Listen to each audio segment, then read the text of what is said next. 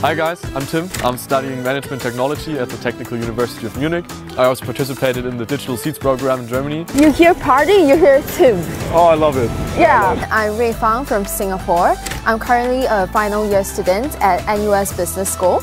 Um, I'm specializing in marketing. Yeah, we were sharing pictures as well. Both of us were fascinated with each other's countries. Hi, my name is Ernesto Briceño. I'm 10 years old. I'm from El Salvador and I'm real excited to be here with all of you in Barcelona.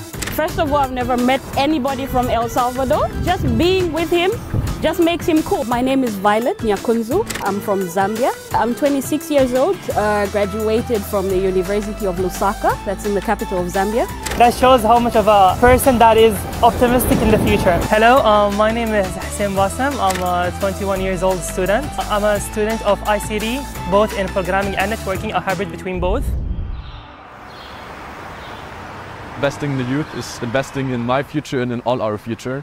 And I think that's just summarizing the whole Digital Seeds program in general, because uh, basically that's what, what Huawei is doing. They're investing in us. So it's a great opportunity to take part in the MWC and allow everyone participating to tackle and uh, explore the new technologies in the world.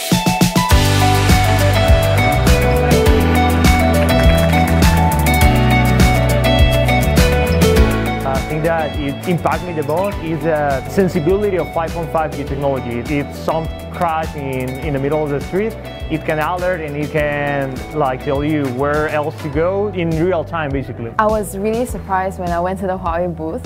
Um, firstly, I wasn't expecting it to be so big. It is just amazing how Huawei has so many, many applications for the technology that you guys have. I actually decided to pick something more hands-on where people can imagine something out of it.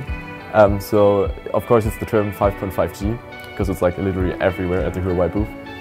And um, so there was, for example, a game and at this game they were like, um, you were in a booth for example, and there were eight cameras pointing towards you and then you could scan yourself and actually walk around and basically explore the game and actually got like a little reminder of that. So it's like a little 5.5G booth.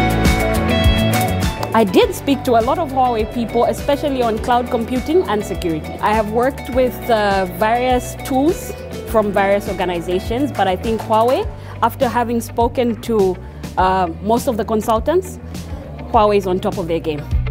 I'm very interested in AI as well. They're using automation, especially in uh, infrastructures and factories such as uh, car building factories where now we're automating it more and more and so, so that we're needing less human intervention and that's more efficient as well.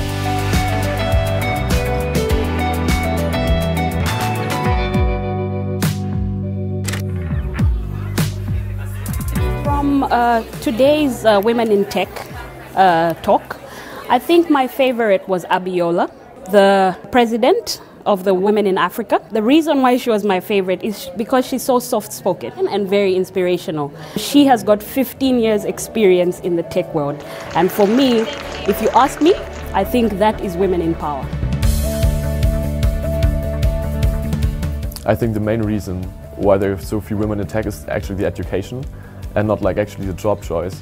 I think if we could make the education more attractive for women, I guess there would be more women in like the tech fields and also in advisory boards in, in the C-level positions in tech companies. There was one talk about how, whereby she gave us advice on how women can actually step up. I think one thing that really resonated with me was when she spoke about finding a mentor to guide you through, um, you know, corporate, corporate world, the working world and everything.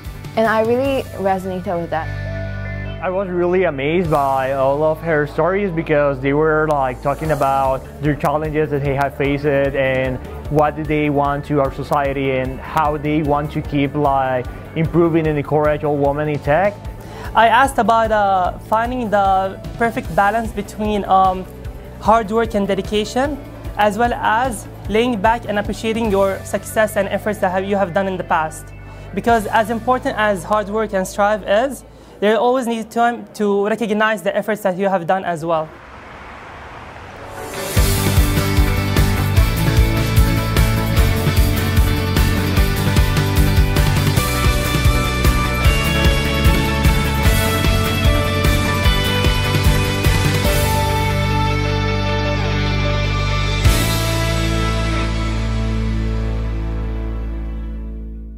He was telling me that he's from Bahrain, and like everybody was wondering where the. F- oh, oh, oh shit! I'm, maybe I should not. Uh, he's a very outgoing person. She. Hola. Hola, hola. Hola, hola. Hola, Hola, hola, hola, hola. Okay, good talking. He's going into dance battles all the time. I was like, yeah, you know. Honestly, he was the one who convinced me to go clubbing. Yeah, That's like actually.